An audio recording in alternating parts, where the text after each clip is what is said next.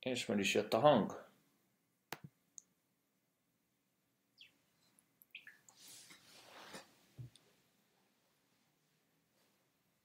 Már csak kinemítjük itt a hangot, és már élőben is vagyunk. Üdvözlök mindenkit, Dan Domino vagyok. Valaki Flamemakers Daniként ismer, valaki Pánkruti Daniként, úgyhogy mindenki megismer, amilyen néven meg tud ismerni. Gyorsan megvárjuk a szokásos 10-15 embert, amivel elkezdjük a műsort, addig én beírom a csoportba, hogy elkezdjük, és ma nagyon-nagyon kockulni fogunk. Eddig mindig ilyen karrierépítésről beszélgettünk, beszélgettünk mindenféle tanácsadásról, marketingről, de most végre igazi kocka témába várjuk a fejszénket, zenei OS építésről fogunk beszélni, illetve elmondom körülbelül bő 15 éves tapasztalatomat így a OS X, meg Windows, meg mindenféle zenés rendszerépítés séről, illetve ezekkel kapcsolatos tippekről, lesz egy kis backupról is szó, beszélgetni fogunk az upgrade-ről, hogy, hogy beszélgetni fogunk a tört pluginekről, tört szoftverekről, a eredeti szoftverekről, szóval mindenféle dolgokról beszélni fogunk. Ha bármi kérdés, bármiféle óhaj, sóhaj, vagy hozzászólás lenne ezzel kapcsolatban, akkor nyugodtan írjátok meg, és akkor ilyesmi lesz a mai adás. Addig megírom ide a személyes kis ö, zárt csoportunkba, hogy élőben vagyunk, és ha itt vagytok, nyugodtan jelezzétek egy lájkkal, vagy valamivel, hogy mindent hallotok, és minden rendben. Gyorsan egy másod, élőben vagyunk, gyertek az oldalra, és akkor már figyelni is fogok. Figyelni fogom a kommenteket is, csak gyorsan ide lépek a kommentek részhez, és akkor várunk egy pár percet, és bele is csapunk a lecsóba. Nyomok ide magamnak egy szívecskét. Ó, magamat nem akarom hallgatni magamat nem akarom hallgatni. Jó, be is lájkoltam magam, úgyhogy szerintem egy, egy-két percet várunk, és akkor el is kezdjük a, a mai adást. Szóval akkor ma nézzük, miről lesz szó. Felépítjük a tökéletes zenei rendszert rendesen nulláról, megnézzük az előnyöket, hátrányokat, meg minden téma, amivel szóba jön. Én úgy gondolom, hogy ma egy tényleg igazi kocka oldalamat fogom megillantatni, szóval nem ez a nagy szakmai marketing bullshit lesz, meg ez a nagy karrierépítés, meg coaching, meg anyámkínja, hanem tényleg az igazi ö, kockaság.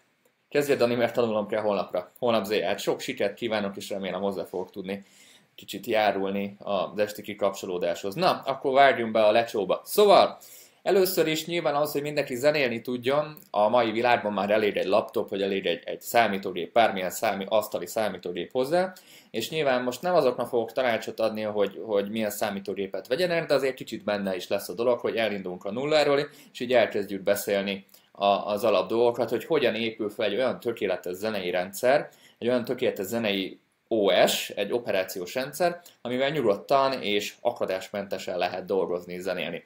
Én a zenét úgy tekintem, hogy munka. Tehát abban az esetben ez egy munkagép, ha valaki olyan szinten van, már pénzt keres vele, ha valakinek már karrierje van zenébe, tehát már vannak fellépései, megjelenései, annak igenis nagyon fontos, hogy egy stabil, megbízható rendszer legyen alatta, és, és erről legyen egy biztonsági másolatok is, nehogy Isten, valami történne. Szóval nem szeretne hetente újra tenni a, a, a operációs rendszerét, úgyhogy ennek mindig megvannak a, az alap feltételei, az alap kitételei. A mai adást megpróbálom egy órába besűríteni, mert először kis rövid videót akartam csinálni belőle, de 10 mm, percben ezt nem tudom belesűríteni, de szerintem másfél órában meg túl sok, úgyhogy megpróbálok ilyen 40-50 percbe belerakni, és ha van valami kérdés, akkor a végén válaszolunk. Na, megint sokat beszélek, csapjunk bele. Szóval, első a zenés gépet akarunk csinálni, nyilván kell egy számítógép hozzá, akkor kezdjük a, a, a tojástól. Először is ö, választhatunk vagy egy sima asztali gépet, ezt a klasszikus nagy doboz asztali gépet, vagy laptopot. Ö, igazából ma már olyan szinten vannak a laptopok is, illetve olyan szinten vannak ö, a, a, ezek a, a laptop gyártásban is a, a, az elemek, hogy tök mindegy igazából, hogy laptopról zenélünk, vagy, vagy egy asztali gépről. Nyilván az asztali gépnek megvan az az előnye, hogy effektíve könnyebben upgrade-elhetjük, több vinyát cserélhetünk mi állíthatjuk össze elemekből, Úgyhogy az asztali gépnek nyilván megvan az a szabadsága, hogy mi bütyköljük a, és mi állítjuk össze az alkotóelemeket, míg nyilván a laptopban is ki tudjuk választani a konfigurációt, és lehet cserélgetni a dolgokat, de ott azért sokkal jóval kötöttebb a kezünk az alaplapi dolgok miatt.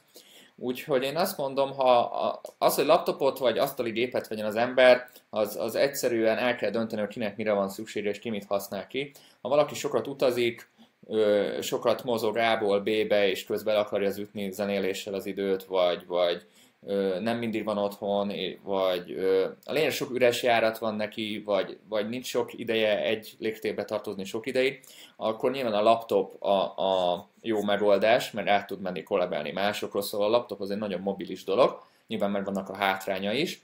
Míg ha valaki röghöz kötöttebb, és, és otthon zenél négy fal között, nem megy el máshova, és hozzá van szokva a saját munkakörnyezetéhez, nekik tökéletes egy asztali számítógép, amit összerak elemeiből. Nyilván, mielőtt így belemedünk az alkotó elemekbe, a nagy kérdések is, akkor ezt gyorsan essünk is ezen túl, hogy Macintosh vagy PC. Na most mindenki nagyon, gondolom sokan tudjátok, hogy én eléggé, úgymond nem azt, hogy Mac fan vagyok, de ö, körülbelül már 2005 óta aktív Macintosh, illetve Apple felhasználó vagyok, de nem az az elvakult fajta. Előtte én is PC-vel dolgoztam, mert szenvedtem a Windows-zal, úgyhogy ha valaki akkor én tudom, hogy mit jelent a Windows XP-t, meg a 95-öt havonta újra installálni, de nem is ez a lényeg. Lényegében ahhoz, hogy jó zenét csináljunk, tök mindegy, hogy milyen a számítógépünk, és tök mindegy, hogy milyen az operációs rendszer. Abban most, hogy OS X van, vagy, vagy XP, vagy Windows 10, vagy mit tudom én, Windows 7, édes mindegy, munkafolyamat szempontjából nem számít, hogy most macintosh dolgozunk, vagy PC-vel. Régebben számított, mert elvileg a PC-knek a BIOS órajele más volt, vagy valami, vagy kicsit lötyögött az órajel, és emiatt a, a, a metronom se volt pontos, hogy volt valamilyen okosság, ezt a nagyobb szakikrenek egyszerűen nekem magyarázták. Igazából tök mindegy, hogy macintosh vagy PC-ről zenélsz, a kreativitás az nem a OS-ből jön, igazából azon kell, azt kell használni, ami, ami, ami neked jobban készhez el. Valakinek azért elkészhez jobban a PC, illetve a Windowsos környezet, mert saját maga tudja fejleszteni, saját maga tudja bütykölni, rengeteg olyan lehetőség van, ami mondjuk az zárt OS X-ben a, a Macintoson belül nem lehetséges. Én személy szerint, ha, ha a saját példámat mondhatom, én azért váltottam annó Macintosra, mert arra volt csak Logic, tehát igazából a Logic miatt, és maga a Mac rendszert nem ismertem az OS X-nek a a rendszerét.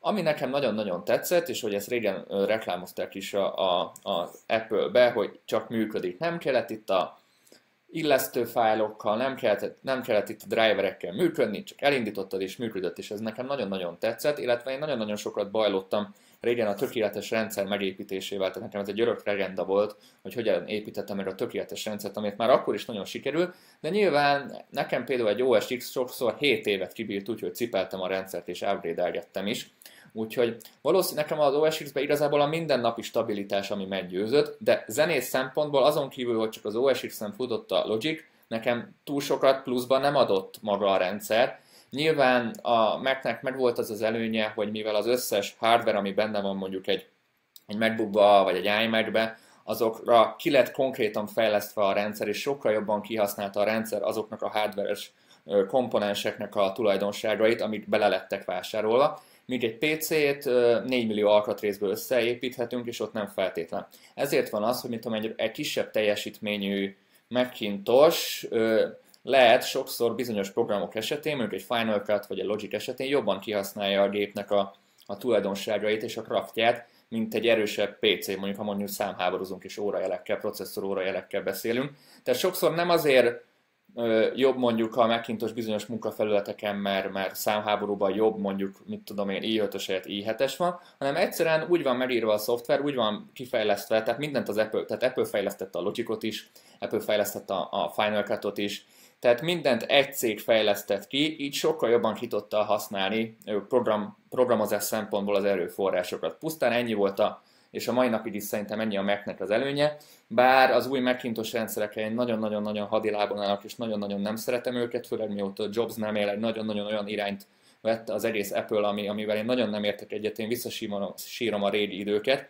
Úgyhogy erre mindjárt kitérünk, hogy nekem ezzel mik a, a szokásaim, meg miket szoktam ezzel csinálni. Lényegében a Macintosh ettől jobb egy fokkal bizonyos programok esetében, hogy jobban kihasználja az adott gépnek az erőforrásait. Nyilván ennek egy komoly ö, ára van anyagilag, hogy ezért meg kell ezt az ártöbletet fizetni. Most ez, hogy valakinek vagy megéri, vagy nem, ez mindenkinek a személyes preferenciája. Nyilván a Fruity felhasználóknak a, Logi, a, a Macintosh eleve hello, tehát eleve nem tudják használni, a, a legtöbb, ha megnézitek, aki, aki nagyon-nagyon meghű, ott is bootcamp vagy, vagy paralel desktoppal használják, ami tulajdonképpen egy olyan szoftver, ami Macintoshon kereszt, keresztül tudsz futtatni Windowsos rendszert. Ez körülbelül olyan, mintha a Trabantba tennél, a Trabantra tennél BMW felniket, tehát tulajdonképpen ezzel a, a effektív a gépnek az erőforrásait nem fogja kihasználni jobban, csak nyilván tud egy Windows futtatni egy, egy Macintoshon, és tud, tudja használni az OS X rendszerét az Office dolgokra, és amit tudom, a Fruity tudja a Windowson használni.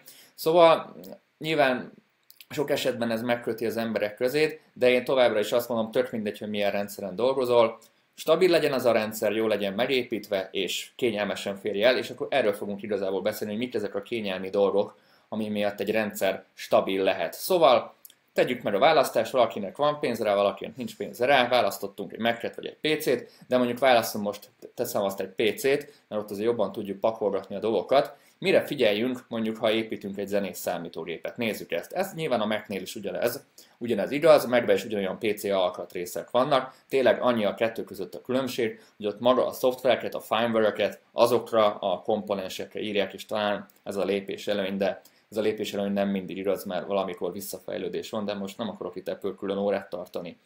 Na nézzük, zenéléshez, ha mondjuk DAW szempontból nézzük a dolgot, mik azok a, a komponensek, ami, ami, ami munkafolyamatban érezhetően gyorsulást okoz, vagy, vagy egy, egy, egy ilyen smoothabb munkafolyamatot eredményez. Az első, szerintem a legfontosabb a HDD, a merev lemez, amire a mindenkinek azt tudom javasolni, hogy a teheti vegyen egy gyors SSD-t és a gyorsabb SSD, mert nagyon-nagyon meghálálja a dolog, és megmondom, hogy miért. Egyrészt eleve a, a, maga az, a, az OS, maga az operációs rendszer sokkal fürgébb lesz, és ez érezhetően a mindennapi felhasználás körében is ö, érezhetően gyorsabb lesz az egész rendszer, de most nem az OS-ről beszélek főleg, hanem arról beszélek, hogy hogy ha a legtöbb, mint amilyen projektet megnyitunk, és van benne, mint tudom 80 sáv, annak a 80 sávnak mondjuk a fele az audio.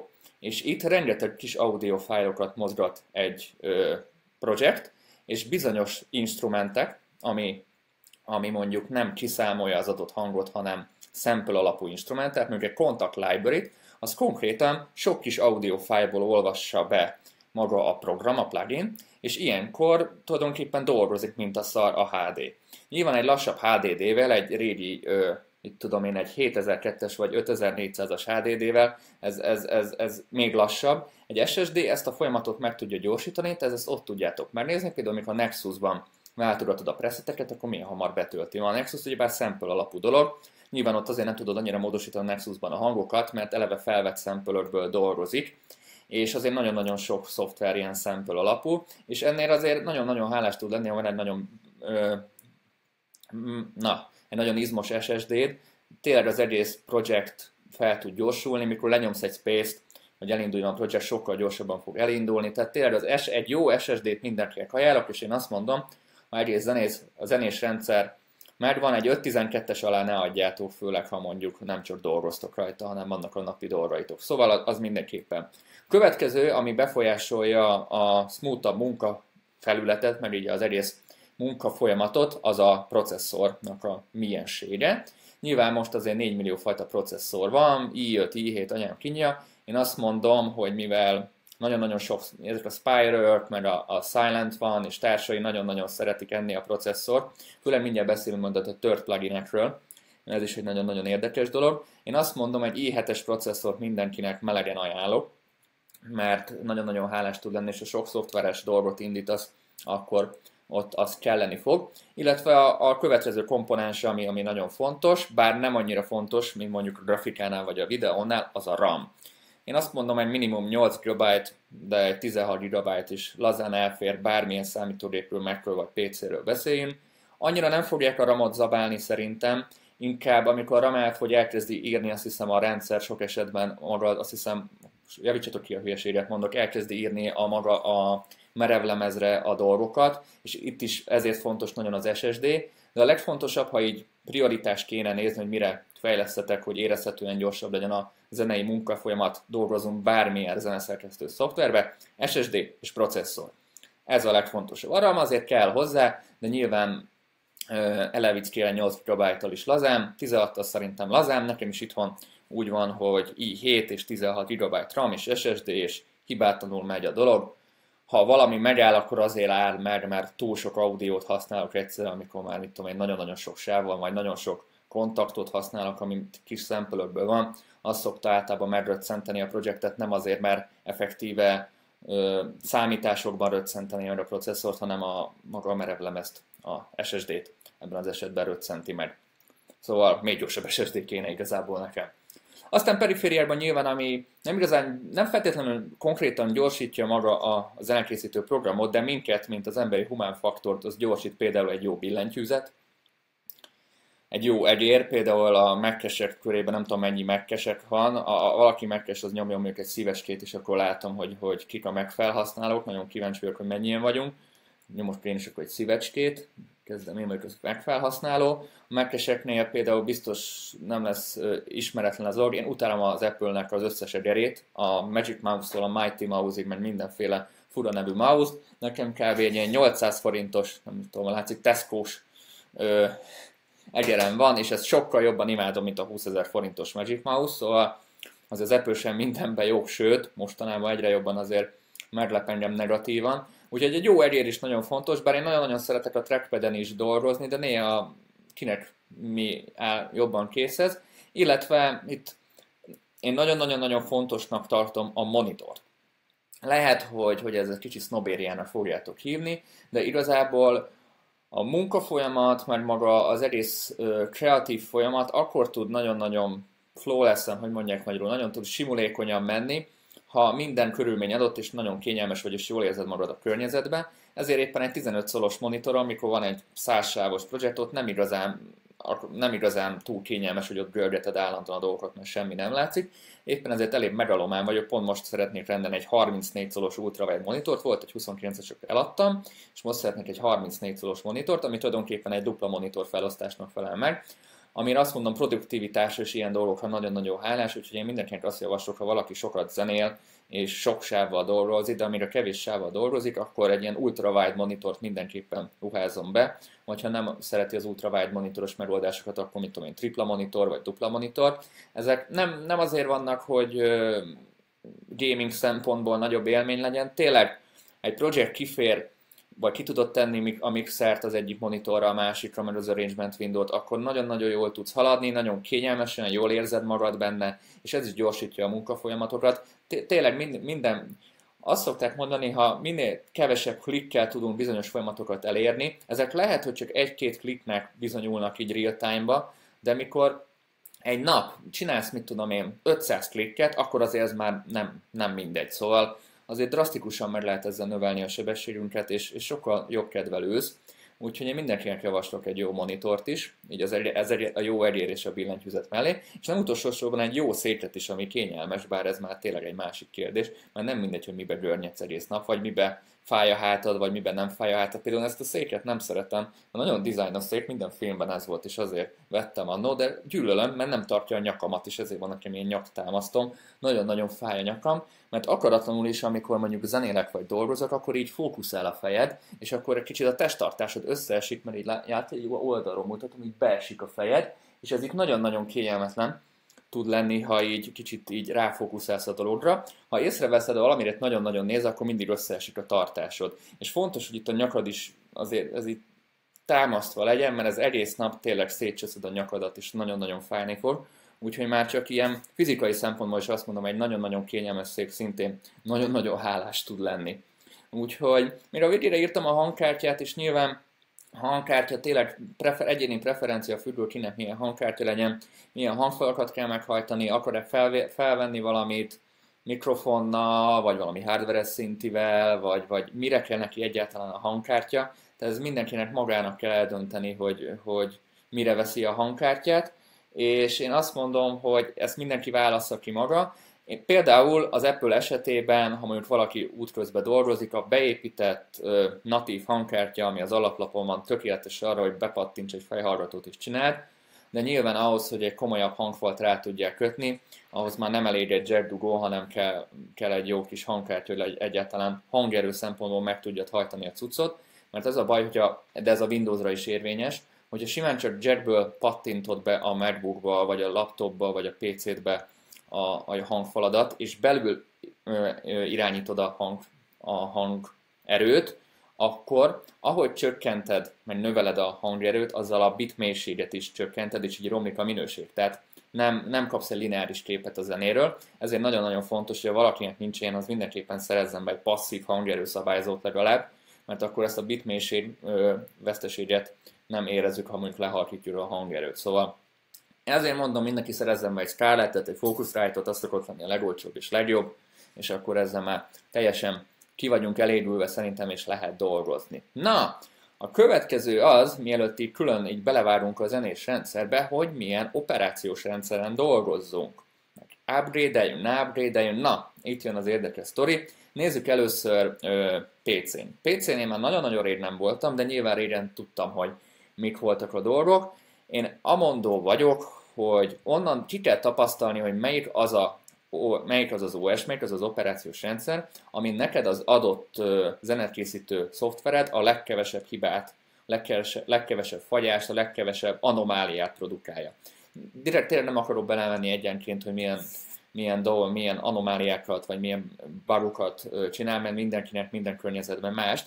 Én azt mondom, amikor megtaláltad azt az OS-t, ami a legkevesebb hibát generálja, ott maradni kell, és nem szabad moccanni. Én így vagyok a, a Macintoson is, nekem a zenés, most azt hiszem a, a Macintos vagy verziószám az OS X úgy jár, hogy 10.11 pont, mit tudom én valamennyi, és nekem a zenés rendszerem, és mindjárt beszélünk, hogy miért zenés rendszer, az 10.9.5-nél jár. Nekem pont az a 10.9 pontot volt, amikor a legkevesebb anomáliát gyártotta a dolog, az összes pluginem futott, minden dologom még azon jó volt, viszont egyet fejem már nem volt jó, és én megmaradtam azon, és arról nem moccanok. Tehát azt szokták mondani, ami működik, azt nem szabad basztatni, nem szabad bántani, tehát ha egyszer van egy olyan rendszered, ami viszonylag stabil, és semmi gond nincs vele, akkor onnantól kezdve maradni kell rajta, és nem menni. Hiába jön ki egy új frissítés, hiába valami plusz funkciót beírja neked a frissítés, nem szabad menni, mert a, a munkaeszközöd az a, az a szoftver, és nem kockáztathatod meg azt, hogy nem tudsz megnyitni a projektet, vagy valami van. Szóval én azt tudom mondani, hogy ahogy megvan a stabil biztos OS, legyen szó itt Windows-ról, legyen szó Macintosh-ban az OS X-ről, ott kell maradni, és meg sem szabad mozdulni akár évekig, mert azon a rendszeren tökéletesen működik, és nem bántunk semmit. Úgyhogy ez nagyon-nagyon fontos. Úgyhogy én, ha a munkarendszerről beszélünk, mindenképpen mindenkit lebeszélnék arról, hogy upgrade az upgrade-et azt felejtsük is el. Viszont ahhoz ké, nyilván, nyilván neked van egy, egy, egy irodai oldalad is, vagy egy, egy magánszemély oldalad is, hogy, amivel, mit tudom én, játszol, vagy, vagy netezel, facebookozol, vagy photoshopozol, vagy mit tudom én, tehát amit, amit a mindennapi felhasználásra használsz, és ott meg egy-két funkció tök jó, jó jönne, ami a frissítésekben van, vagy ami az új rendszerben van. Hát a rendszert valójában gyorsítja, csak lehet, hogy egy-két plugin, aminek nem jön frissítés időben, vagy már csődbe ment a cég, és nem gyártották le a, a verzió frissítést, és akkor ott megdörlik a plugin. Tehát tényleg én annól nem is tudom, 32 biten vagyok, még például megvan a 32 bites Logic is, azért mert bizonyos projektet csak ott nyílnak meg. Szóval, na mindegy. És nyilván ahhoz, hogy ezt a kettő dolgot így egyszerre tud élvezni, meg kell csinálni a saját zenés rendszert. Na, a zenés rendszert a következő módon érdemes csinálni a, nyilván a legjobb zenés rendszer az, ha erre van egy külön számítógéped, de nyilván azért elég búzsúly dolog két számítógépet tartani egy háztartásban. Én azt mondom, aki teheti, csináljon két külön számítógépet. Egyrészt jó dolog, ha van egy, egy pót számítógép, jó dolog, ha egy dolgot két helyen le tudsz ellenőrizni, jó, ha két külön számítógép van, egyik a munkára, a másik a zenére, egy külön zenés gép, de ha nyilván nem mindenki teheti meg, vagy helyhiány, vagy anyagi dolgok, szóval tök mindegy, ezt már lehet egy gépen belül is oldani, szépen kettéosztjuk a vinyót, és csinálunk egy, egy ilyen, mit tudom én, mindennapi rendszert, mert lesz egy zenés rendszer. A két rendszer között nyilván újra kell butolnunk, ha, ha használni akarjuk, vagy ahogy váltogatni, de az a legfontosabb, hogy szépen minden tabula a tiszta lappal, meg, meghagyjuk azt a rendszert, ami tökéletes a zenére, és arra szépen felhúzzuk a zenés rendszert, és ami nagyon-nagyon fontos, azon a zenés rendszeren semmi más nincsen, csak a zenei dolgok, a, mit tudom én, a, a zeneszerkesztő szoftvered, a pluginjeid, a milyen kiegészítő szoftverek, és a projektek, meg a soundbankok. És kész, azon semmi nincs. Azon internet, mondjuk a másik számítógépről van szó, azon még internet sincs, azon nincs föltéve semmi, semmi érette világon, egy böngésző se fut, tényleg csak annyi fut, tényleg csak annyi van felrakva, ami a, a, a zenéhez szükséges. Tehát én annó, amikor még nem volt Macintosom, én a PC-n ugyanezt megcsináltam, és tökéletesen, ez tökéletesen abszolválva volt. Ott azért én még nagyon-nagyon szerettem beszopni a vírusokat is, és mindig rakattam újra a Windows-t magam, újra a Windows-t magától. Éppen ezért nekem azon a rendszeren még internet se volt, meg semmiféle izé nem volt, le volt kapcsolva minden. Tényleg, itt írjátok is, hogy internet sem kell. Tényleg csak fusson rajta az a két program, amit használok, és hello. Tehát így tudod megcsinálni, és amikor majd internetezni akarsz, facebookozni, játszani, meg, meg barangolni, meg nézni a pornócsatornákat, meg nézni anyámkinya, akkor majd mehetsz a normál rendszeredre, ha valami történik, a normál rendszeredet cseszd el.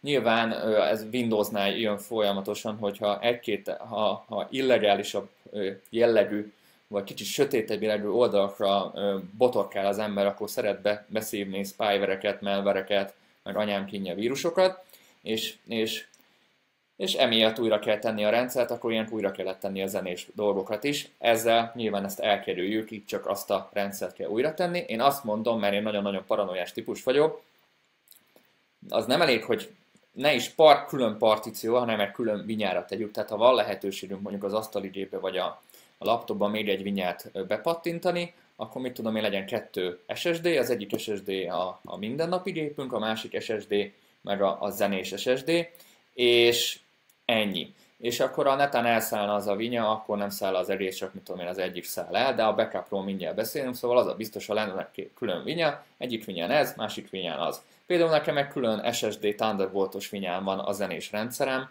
így, így, így nekem én két gépből egybe költöztem, de ebbe mindjárt bele fogok menni, hogy nálam hogy működnek a dolgok. Úgyhogy így, így, ha külön zenés rendszert csinálsz, akkor azt csinálsz a másikon, amit akarsz, úgy garázdálkodsz, hogy akarsz, a zenés rendszerbe semmi nem fog beleszólni.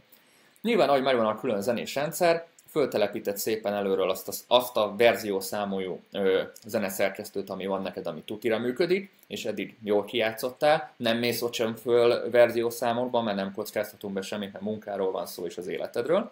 És akkor azt is hagyod, ahhoz sem nyúlsz, az is nagyon fontos, ott sem frissítgetünk. Utána fölrakjuk a plugineket. Na most pluginekből is nyilván kismillió plugin van, én Amondó vagyok, de majd a, majd a valamelyik héten csinálok ilyen plugin ajánló opciót, meglátjátok, hogy én milyen nagyon kevés plugin használok. Én azt mondom, minél több plugin van, annál, minél nagyobb a kreativitásnak a szabadsága, annál inkább vagy nem kreatívabb. Tehát általában a limitált dolgok azok sokkal nagyobb kreativitásra bírnak. Azért, mint tudom én, a van nekem 1000 darab soundbankom, soundbank, és azon belül van mondjuk 10 darab, mondjuk 100 darab hang, az 100 ezer presetet jelent, és mire azt a 100 ezer presetet átlapozom egy zenéhez, vagy egy ötlethez, elmegy a nap. De miről nekem van kettő darab soundbankom, 10 darab presettel, amit tényleg jó, akkor nekem abból kell dolgoznom, és abból kell valamit kicsavargatnom, ha mondjuk presetekből dolgozod. Ez csak egy példa volt direkt. Tehát ha kevesebb dolgod van, akkor sokkal jobban rá vagy kényszerítve arra, hogy kreatívabb legyél, sokkal jobban ki fogod az egészből a maximumot hozni, mint ha lenne több ezer presetet, több ezer lehetőséged, és ott igazából elveszel a nagy lehetőségek varázsába, ami igazából nem baj, mert tök jó az ebből elveszni, csak az időd is elmegy vele, és nem tudsz annyira hatékony lenni, úgyhogy én azt mondom, a limitált dolgok sokkal jobbak. Én azt mondom, hogy mit tudom, most netán velem együtt újra gondolod a rendszeredet, használd ki a top 5 plugint, amit használsz minden kategóriából, tehát mit tudom én, az EQ-ból, a, a, a szoftveres dolgokból, a, a, a szintikből, és így, így próbáld kicsinálni. Hide, higgyétek el, három, igazából három ö, pluginból bármit meg lehet oldani, tehát itt van egy Spired, van egy masszívod, meg van egy, mit tudom én, egy Silent van ott, abból minden hangot ki lehet ö, csavarni, amit csak akarsz, nem kell még 4 millió no-name kis plugin mellé, így meg lehet oldani, és minél kevesebb annál jobb, és ezekkel azért sokkal könnyebb dolgozni, és ezeket, és csak a kedvenceket teszed föl, azonnal ott van, gyorsabban eléred, és sokkal jobban meg is ismered, és amikor már nagyon pro vagy, és már, már csukott szemben mindenki csavarsz halása, akkor majd kereshetsz egy újabb plugin. Nézzük pár kommentet is, hogy hogy mostani szélre a hónapok óta szivat bizonyos programokra, szóval adom, amit mondasz. Nekem PC esetén WinXP SP3 óta atom stabil az Ableton, végigmentem az összes Windowson, és ment mindegyiken a live. Ez mondjuk nagy szerencse. Csak akkor kell internetbe dugni a vette hivatalos programot, amit csak netről lehet telepíteni. Így van, én is ezt szoktam mondani. PC-n zenélés szempontjából Windows 7 még mindig agyonverhetetlen, ha Microsoftról beszélünk. Hál' Istennek Linux is jön fel ilyen szempontból, a Bitwig Reaper már natívabban támogatja ugyebár a Linuxot, VST téren mondjuk elég gyatran áll a rendszer, az OS X-et hasonlóan ugyanúgy működnek a driver felismerések. Hangkártya magától felismert mindenféle driver telepítés, és nem mondom, hogy bullshit dumál, hogy vírusmentes a rendszer, de sem olyan helyzet, mint a Microsoft-éknál. Az zeneszerkesztőnél például Cubase akkor van újdonság, hogy frissítésben, ami gyorsítja a munkát, szóval néha jól frissítesz. Igen, néha jól frissítesz, ilyenkor mindig azt szoktam mondani, hogy nem én akarok lenni a beta tester, hanem várok pár hónapot, megnézem mindenkire, minden plugin működik, ám hogy van egy ilyen a Macintosnál van ezt a windows nem tudom, amikor kijön egy új rendszer, akkor van egy olyan zenés oldal, ahol kírják, hogy, hogy a pluginok működnek-e, és amikor látom, hogy minden működik, akkor váltok. Tehát én nagyjából két évet várok általában, mire OS-t váltok, ma addigra biztos megjönnek a frissítések, hogy minden rendben működik. Úgyhogy nyilván az OS X egy kicsit macerásabb. Minden rendszernek megvan az előnye és hátránya, szóval ha hiszitek, hanem egy időben gondolkoztam arra, hogy visszatérek Windowsra mert szabadabb a dolog, de hát a logicot hiányolnám. Gondolkoztam már Hackintoson is, de igazából én Macintosh téren nagyon el vagyok keseredve, mert az, a, a, az, én a, a hardveres dolgokat még mindig szeretem benne, de amit OS X terén leműveltek így 10.10-től felfele, az valami borzasztó, és a 10.10 én már nem tudok dolgozni logic szinten. Tényleg síralmas, amit az Apple-ék leművelnek, és nagyon nem stabil, nem olyan stabil, mint ami 3-4 év, ami miatt imádtam, úgyhogy eléggé el vagyok keseredve így megfelhasználóként, úgyhogy én is így néha-néha keresem a dolgokat. PC-n sokat szoktam, de ö, ahogy, ahogy ö, kihasználtam a, meg ki, így kitanultam a dolgokat, meg pár újra kellett tennem a rendszert, azért már ott is megtaláltam a tökéletes rendszert. Én azt mondom, tényleg, ha onnantól kezdve egy szűz zenés rendszert megcsinálunk, és nem frissítünk, nincs netre dugva, nem kockáztatunk, és hagyjuk, hogy működik, akkor azzal évekig el lehet dolgozni. Na, és akkor ott tartottunk, hogy föltesszük a szoftvereket, Sandbankokból ugyanúgy le kell írtani, amit nem használunk, hiába van 100 a Sandbankunk, abból általában 5 használunk, szépen mindent fölmappázni, és tökéletesen átlátjuk a rendszert, nem nem kell ott külön nézegetnünk az, az, azokat a fájainkat, amik amúgy a mindennapi dolgainkba beletartozik, tényleg csak a zenés dolgaink lennek, és tulajdonképpen az asztalon lesz nettó 6 darab mappa, és azokban lesznek a dolgaink, és tök átlátható lesz minden, és tök jó lesz dolgozni benne, úgyhogy ez nagyon-nagyon jó dolog. Úgyhogy én ezt mindenkinek csak tudom ajánlani, de van egy rész, amit mindenképpen akartam belevenni, és próbálom ma egy órára megtartani az adást, és kicsit beszélgetni a tört szoftverekről és a gyári, gyári szoftverekről, mert igenis nem mindegy, hogy, hogy melyiket használunk. Nagyon-nagyon-nagyon nem mindegy. Például nyilván legyünk őszinték, nagyon-nagyon sokan, szerintem a producereknek a 90%-a biztos dolgozik egy darab tört szoftverrel, minimum egy darabbal, és ezzel nincs is baj, és ezt el is fogadom, de nyilván ennek tudni kell a hátul, hátulütőjét. Bizonyos tört szoftverek bizonyos ö, verziószámú dolgokra vannak kitalálva. Éppen ezért, ha jön egy frissítés, az a törés már nem biztos, hogy jó a következő frissítésekre. Tehát, ha valaki sok tört szoftvert ö, használ, akkor annak szintén nem ajánlott a frissítés, mert elcseszheti úgymond a cracket. Kétfajta törés létezik, és akkor most jön a Dani a hacker. Nem vagyok én ennyire nagy ö, black ö, internetes, de azért nyilván tudom a dolgokat, mert belelátok. Kétfajta törés létezik. Tehát egy szoftver feltörhetnek úgy, hogy, hogy, hogy a széria számot sikerül valahogy kigenerálni és ezt kikerülni, és megakadályozni, hogy visszatelefonáljon interneten a rendszer, visszatelefonáljon, tehát visszaszóljon szerven a rendszer. Itt igazából lényegében nem nyúlnak bele a, a szoftvernek a magjába, csak kikerülik ezt a hazatelefonálós dolgot, és így, bet- és így el tudja indítani magát a szoftver, illetve a másik dolog, amivel biztos találkoztatok, ami semmi széria számot nem kell csinálni, hanem eleve már az installnál is látjuk, hogy fel van törve a dolog, ki van nyitva valahogy a forráskód, és ki van kerülve ez a hitelesítési rendszer. Nem vagyok egy programozó, úgyhogy a, lehet hülyeséget mondok, ezt mindenképpen javítsatok ki. Kétfajta, szóval ez a kétfajta törés van. Ö, nyilván felhasználás szempontból a szériaszámos törés a szerencsésebb, azért, mert ott konkrétan nem nyúltak bele a, a forráskódban, éppen ezért abban a szintben fognak ö, futni a dolgok, ahogy, ahogy azt eredetileg is megírták, és, és ez, ezek általában szerencsések, csak nyilván, ha a frissítések vannak, lehet, hogy ott is újra kéri, de ezek a tört szoftver általában tök jól működnek. Viszont nagyon-nagyon sok szoftver van, amiről mondtam, ami, ami bele van nyúlva a forráskódba. Itt bizony, mert lehetnek olyan anomáliák, vagy olyan dolgok, amikre nem számíthatunk. Az első, amire számíthatunk, amit az előbb is mondtam, hogyha frissítünk valamit, akkor megdöglik a, a törés. Előfordul, tehát ha valaki így van, tényleg nem mozduljon. A másik anomália, amiről nagyon-nagyon kevesen tudnak, vagy, vagy nem akarják elismerni, az, hogy konkrétan mondjuk nagyobb erőforrás, nagyobb ramot, nagyobb processzor teljesítményt használ föl egy tört szoftver.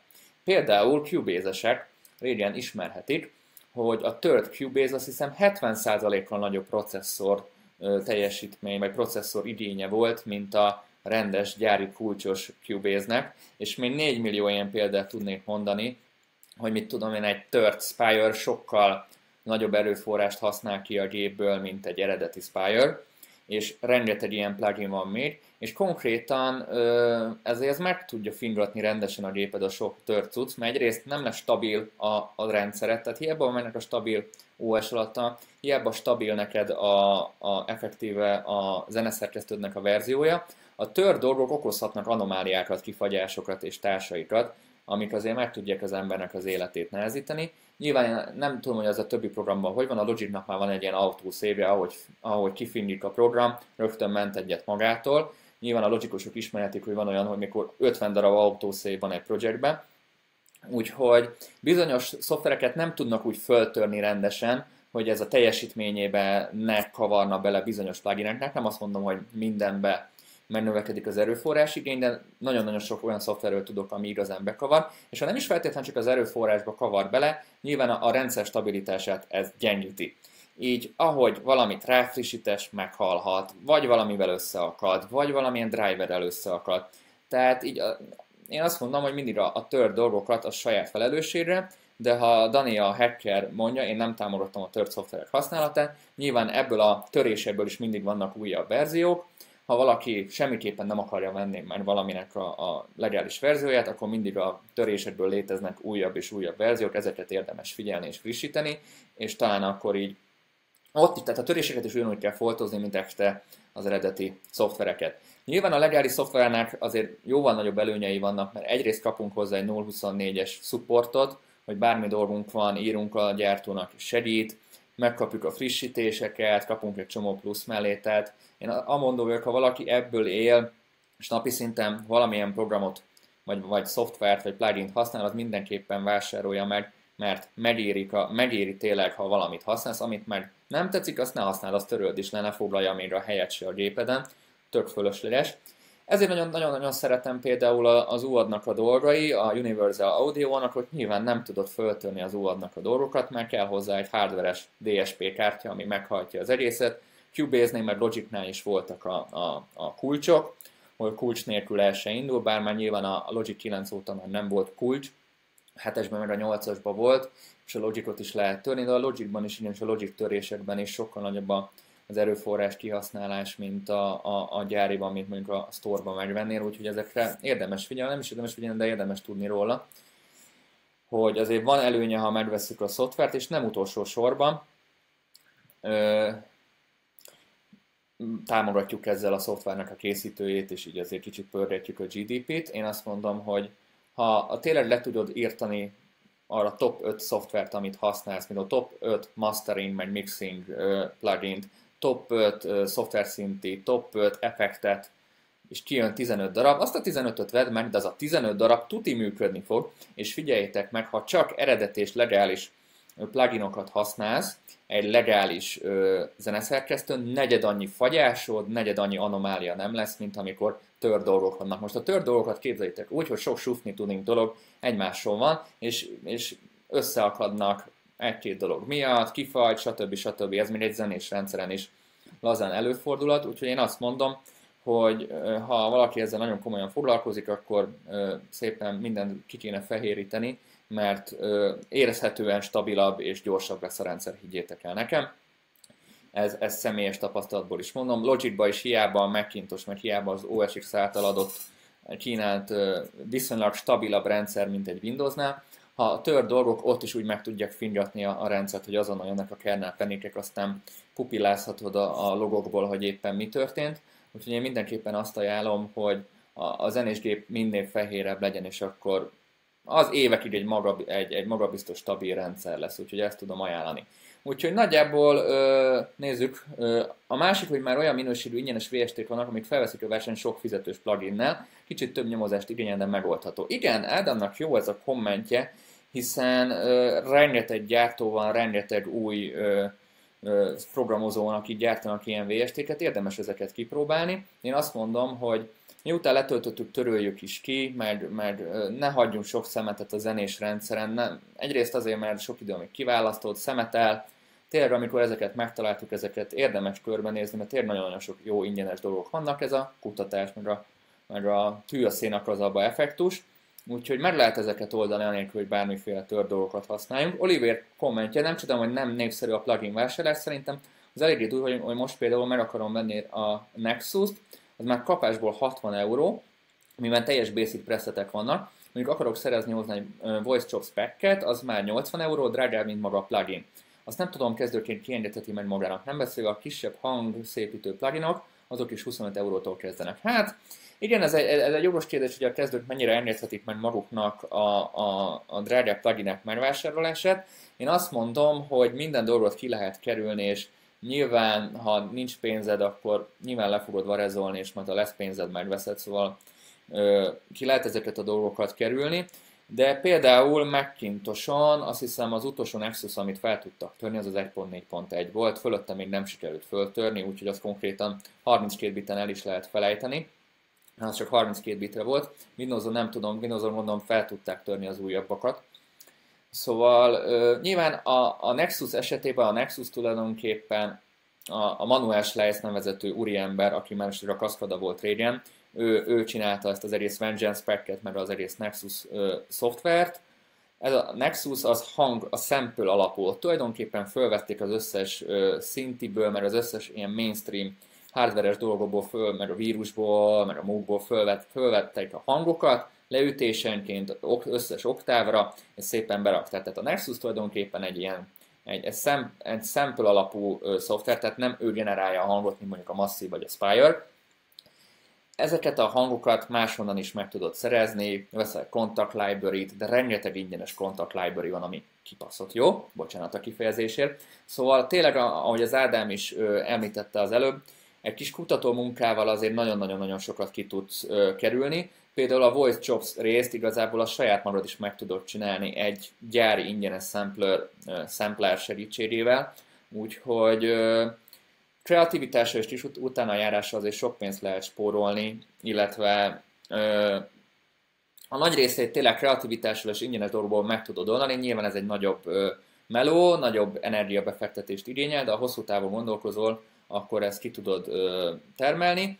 Nyilván, ha valamire összegyűjtöd a pénzt, akkor cigi helyett, vagy, vagy, vagy, vagy valami rossz ö, hobbi helyett, vagy ami rossz szenvedélye lett Nexus pakot veszel, ki mire költi a pénzét. Én azt mondom, hogy amíg az embernek nincs ezen a pénz, a kreativitással, a limitált, tényleg pont a limitált ö, ö, szituációból nagyon-nagyon sok jó dolgot ki tudsz hozni, úgyhogy én csak arra biztatlak, hogy mindenre van B megoldás, és Iszonyat nagy már ez a piac, nagyon-nagyon sok szoftver van, nagyon sok ingyenes szoftver van, és azért a nagyját meg lehet samplingből oldani, vagy ha valami library ből meg lehet oldani, úgyhogy én arra biztatlak, hogy ezek kicsit járj utána, és csomó mindenki tudsz majd pótolni, nem kell megvenni 2000 ér az egész Nexus csomagot, mert azt hiszem az egész Nexus megvesszük az összes library-vel, azt hiszem, ami 2000 euró, tehát ilyen horror. Holott az, azokat a hangokat azért másokból is tök jól meg lehet oldani. De nyilván ez most egy más kérdés. Szóval, megvan az egész zenés szoftver, ami működik a zenés OS, tök happy vagyunk, de azért is akkor e- ez a, ez a utolsó, amiről szeretnék beszélni, a backup.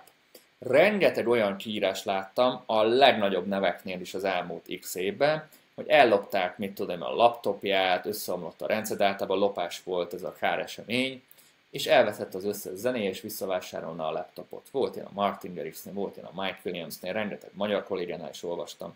Ellopták a laptopot, összeomlott a rendszer, és elveszett az összes zené és az összes szempője, és mindenki sajnálta őket. Na most én nagyon-nagyon gonosz leszek, és, és karma csapjon vissza rám, de én nem sajnáltam őket, én azt mondtam, hogy megérdemlik, mert ha valakinek van egy olyan nagyon-nagyon fontos dolga, ami az élete, abból minimumot csinál minimum kettő darab biztonsági másolatot. Nyilván azóta gondolom ezek a srácok megtanulták, úgyhogy az a legelső dolog, és ez nem csak a zenére, hanem az összes személyes adatodra vonatkozik, biztonsági mentések. Ez, ez nagyon-nagyon fontos, pont volt múlt héten ez a WannaCry vírus, és, és mennyi rendszert megfingatott, én meg itt röhögtem otthon a Markomban, egyrészt azért, mert tele vagyok biztonsági mentésekkel, és itt, itt kár még tűz is üthet ki, nekem akkor is az adataim megvannak. Úgyhogy így a zárszóba az utolsó 10 percben, vagy a kérdések előtt szeretném elmondani a bomba biztos backup stratégiát, biztonsági mentés stratégiát, ami, ami tulajdonképpen bárkinek ajánlok, és nekem akármi történhet itt velem,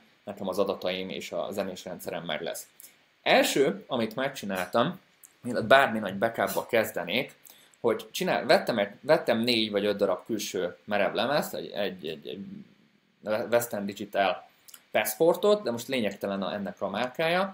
Fontos, hogy amikor külső merevlemezeket veszel, ne ugyanolyan típusokat vegyél, mert ha a széria hibás, akkor egyszerre fog bedögleni, tehát különböző típusú kat vegyél, tehát egy extra paranoiás vagyok és extra óvatos vagyok adataimmal és a munkámról van szó, úgyhogy én ezeken nagyon-nagyon figyelek, majd észre fogjátok venni, mennyire figyelek az apróságokra. Vettem rengeteg külső webrenzt, amik nem ugyanolyan széria számúak és nem ugyanolyan típusok, tehát ha egyszerre meg tönkre nincs gond. És az egyik ö, ö, kis merev lemezt én kineveztem Master Disknek. Erre a Master Diskre felraktam az összes pluginemnek, az összes ö, programomnak, amit használok, illetve az összes dolgomnak az installját, és szépen fölmappáztam, mit tudom, itt vannak az elkuk, és ott van a FAF filternek, meg mit tudom én, a, a magelkuknak az installja. A következőben volt, mit tudom én, a Logicoknak az installja, és három Logic verziónak ott volt az installja. A következőben az OSX-nek, három darab OSX-nek külön volt ott az installja. És ugyanígy megcsináltam az összes plugin-t, külön szandbankok föl voltak mappázva, a projektek évre, dátumra föl voltak mappázva, tulajdonképpen megépítettem magamnak a kis forráskódját az én kis zenés rendszeremnek, azt, amit megcsináltam, és kb. Egy olyan fél nap alatt bármilyen szűz gépre újra tudom telepíteni a rendszert úgy, hogy minden profi működik, mert az, az, azokat az állapotokat állítom vissza, amikor minden tökéletes volt, és azok a verziószámok vannak, amik mindig tökéletes.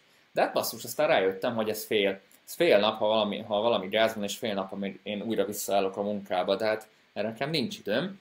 És végül fel, megtaláltam az igazi módszert, ami a, olyan lusta gyerekeknek, mint nekem nagyon-nagyon jó, ez pedig a klónozás, a, a rendszer klónozás. Windowson is, Mac-en is meg vannak rengeteg program erre, le lehet klónozni konkrétan a rendszeredet. Nekem egy külön, nyilván van egy külön mondjuk egy vinyem, amin van a zene, és bedugom a külső vinyót, és ekte leklónozza rá a rendszert. Ez a klón azt jelenti, hogyha mondjuk az én MacBookomba elszáll a vinya, vagy a MacBookba száll valami, és nem tudok dolgozni, megfogom az én klónozott rendszeremet, bedugom egy másik MacBookra, újraindítom, és megkérem, hogy arról a lemezről bootoljon be, és ott fogom látni a rendszeremet tökéletesen, úgy, ahogy hagytam. Ez a leggyorsabb backup, amit mindenkinek tudok javasolni. Ezt a klónozást megcsináltam kétszer tehát hogy két helyre klónoztam ugyanazt a rendszert, így ha valamelyik, valamelyik backup történik valami, akkor még mindig ott van a másik. Ezt minden nap végén csinálom meg, vagy akkor, ha valami nagyon-nagyon fontos dolgot csinálok. Ez a klónozás talán a leggyorsabb backup rendszer, amit el tudok képzelni. Igazából ezzel a klónozással elkerülöd a, a félnapos újrainstallálást, azt a rengeteg macerát, ami egy újrainstallálással jár, itt tulajdonképpen rendszer cserélsz és újrainstalálsz. A Macintosnál létezik egy olyan, hogy Time Machine, de nagyon-nagyon fos és nagyon-nagyon használhatatlan, mert a Time Machine konkrétan a rendszert költözteti, és ha valami baj történik a géppel, az egy új gép kell, hogy csináljad, viszont ha mondjuk nekem elszáll a MacBookba az SSD, és, és, és bedugom a, a külső vinyót, akkor lazán tudok rajta dolgozni, elviszem az SSD-t, kicserélem, és utána visszaköltözök rá. Tehát ilyen egyszerű. Tehát én ezt a klónozást mindenkinek ajánlom, és nem, nem, nyilván a klónozásban is ott is ki lehet választani, hogy mit klónozol, mit másolsz föl. Én azt mondom, a megcsináld a, re, zenés rendszert, mit tudom én, kijön 300 giga, azt az egész 300 gigát klónoz föl, és ami tök jó, hogy ezek a klónozó programok meg, megtartják az előző verziókat is, tehát mit tudom én, nekem így három hétre visszamenőleg az összes klón megvan, tehát ha valami mondjuk valami vírus beütött, és fölklónoztam vele a vírust, mondjuk ezt a WannaCry vírust, ha mondjuk PC lennék, akkor visszahozom a, mit tudom, az egy héttel ezelőtti klónot, és akkor, akkor ott van egy, egy tiszta ö, vírusmentes rendszerem. Most azoknak mondom, aki mondjuk nem csinál külön zenésgépet. Úgyhogy ezt a klónozást mindenképpen ajánlom, én ezt általában kettő darab vinyára csinálom, illetve van mellett ez a master diszkem, amin csak az installok vannak, de hát elgondolkoztam, hogy oké, okay, hogy itt klónozgatom a rendszereket, és tök jó a vinya, de hát mi van a betörnek, mi van, ha történik valami, minden itt van egy helyen, hát ez nem túl biztonságos. Erre szokták mondani a biztonság szakértők, ez még ez ilyen 70%-os biztonság. A legnagyobb biztonság akkor van, ha felhőbe is mentesz, tehát kerek cloud. Rengeteg ilyen cloud alapú backup szolgáltatás van, most én megtaláltam a kedvencemet, mit tudom, ilyen évi 15 ezer forint, ez az iDrive nevezetű csoda. Tulajdonképpen ez egy külső szerver, ahova úgy, ahogy van, fölmásolod, ugyanúgy fölklónozom a rendszer, csak föltöltöm, és kész. És onnantól kezdve incremental backup, az incremental backup mindig azt jelenti, hogy mindig csak annyit tölt fel, amennyi változás történt a rendszerbe. Így előfizettem már a, a cloud rendszerre, de amúgy van vagy tíz fajta ilyen, megnézitek, Blackbase-től kezdve van rengeteg fajta, és ide fölklónozza a rendszer, és olyan funkció van ebben, hogyha mondjuk neten ö, valami történik a gépemmel, akkor 100 dollár fejében, vagy valamennyi minimális pénzösszeg fejében nekem kiküldik Expressbe egy vinyán a rendszeremet, amit fölmentettem. Ide föl lehet több gépet is tenni, föl lehet, mit tudom az iPad-et, iPhone, telefont, bármit is bekapolni, a Facebook ö, profiltól kezdve az Instagram profilorig mindent föl lehet oda bekapolni. Úgyhogy én úgy vagyok, hogy nekem van egy backupom itthon, két darab ö, ö, lemezre, két darab klónom, van egy master diskem, és még van egy távoli szerverem, ha bármi történne, mint ha én itt lokálisan de még nem álltam meg, mert van itthon egy nasom is, és akkor a nasról is szeretnék beszélni. A nas tulajdonképpen egy helyi szerver, Network Attached Server, vagy System server szerintem, ami tulajdonképpen ilyen, helyen, ilyen kis helyi szerver, ahova szintén kiküldök egy, egy klónt, ahova szintén kiklónozom a dolgot. A, a NAS-ban az a jó dolog, az tulajdonképpen ilyen házi szerver képzeljetek el, rengeteg más dolgra lehet használni, én backupra használom, és a filmjeimet tartom ott, nem akarom a, se a irodai gépemen, se a zenész gépemen, mit tudom én, HD filmekkel szemetelni a dolgokat, hanem fogtam, és azon tárolom a filmjeimet, és eleve, mint én, valami filmet letorrentezek, vagy valami filmet leszedek, azt eleve a NAS szedi le, eleve a NAS-nak van egy ilyen operációs rendszer, ami, ami böngészen belül működik, és azt pattintja le oda, tehát effektíve se a zenész gépemen, se a irodai gépemen az nem megy keresztül, úgyhogy minden multimédia, meg minden ilyen fan dolog az a NAS-on köt ki. A NAS-nak az a szépsége, hogy bárhonnan elérem bármilyen eszközről. Szóval igazából itt tuti, tuti biztonság van. Közben van egy kérdés, OSX-re milyen szoftver tudnál akkor ajánlani Time Machine helyett? Carbon Copy Cloner.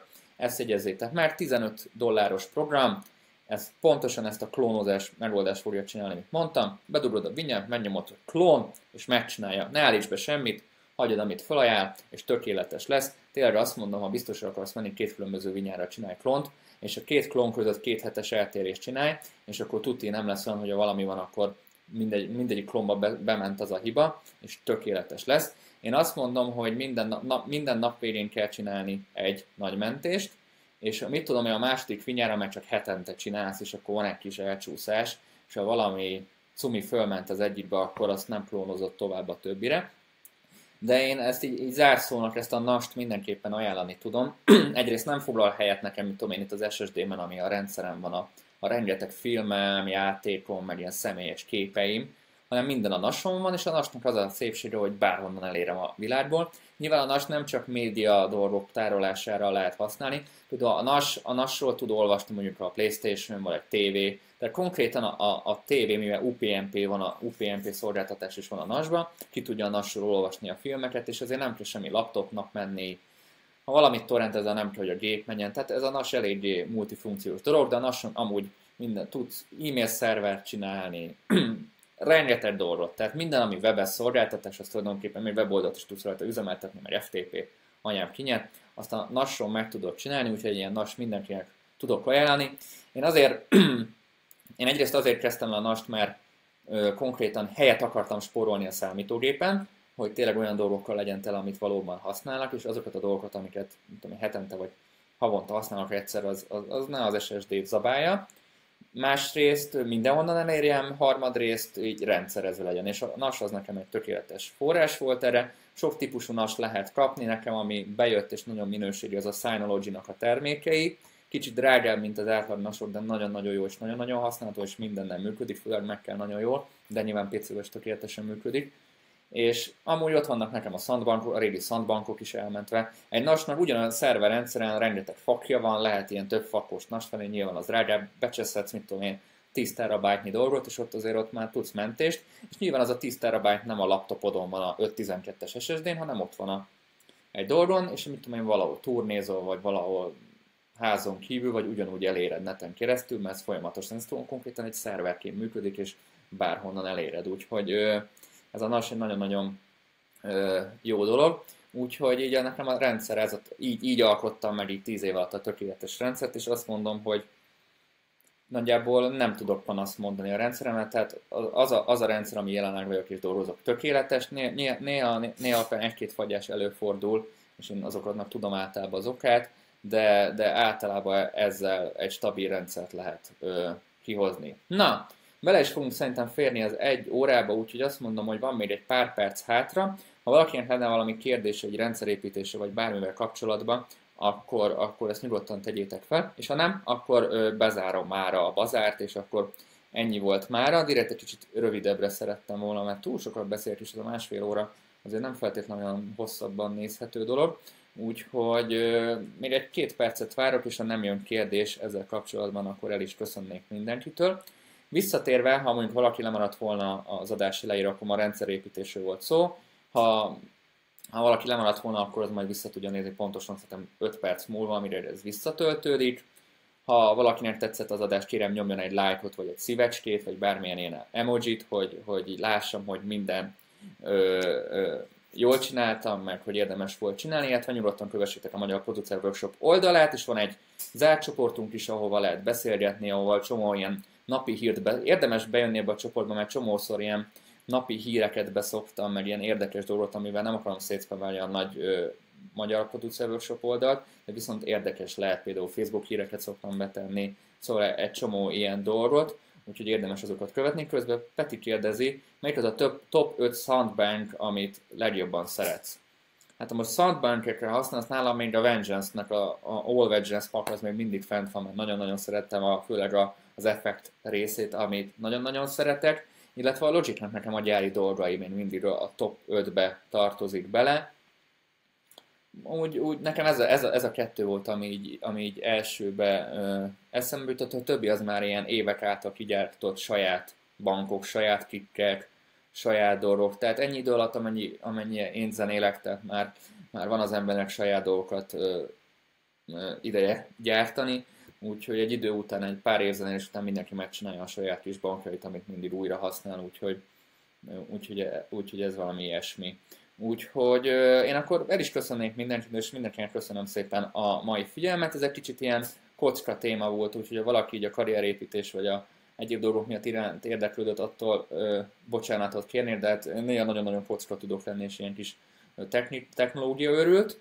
Ha valami bármi kérdés van, nyugodtan zaklassatok, ha, ha bármi érdekesség, vagy, vagy a régebbi videókat meg akarjátok nézni, akkor stravakamedia.com-on ezt megtekinthetitek, illetve ott még információt találtok a, a munkámmal kapcsolatos dolgokról, mint a marketing tanácsadásról, karrier tanácsadásról és promócióról.